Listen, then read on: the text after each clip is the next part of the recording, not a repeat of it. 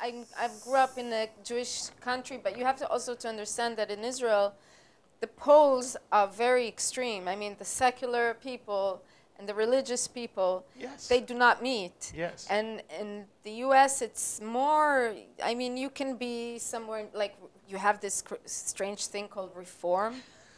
What is it? It's either you're extreme ortho- orthodox or you're a complete atheist. It doesn't go. You know, it's like water and oil. We don't mix. You know. So it was interesting in a way because it's a society that was very strange to me. I'd never talked to anyone from there. I never been to those neighborhoods before. I never, I, I you know, that I had to be taught. I mean, we really as seculars, we know nothing. I, I don't know, at least us, we, we don't know how to be Jewish, okay? We just have it in our, in our passports or something. So, uh, In our genes, too. in our genes, yeah, but I don't know how to practice. So we had uh, uh, things that I had to, we had to learn Like what? everything.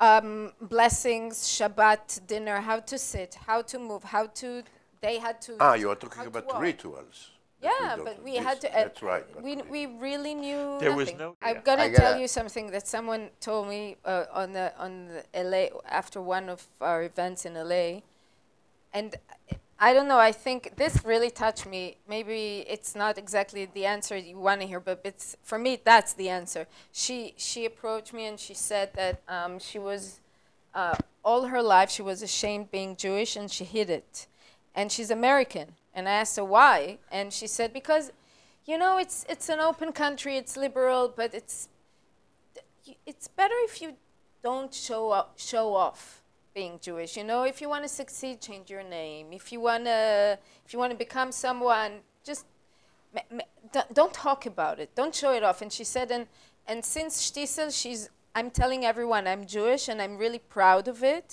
And I and she says, and what amazes me about Shtisel is that none of you is ashamed being being a Jew. You just show it off, like the characters, you know, and you celebrate it.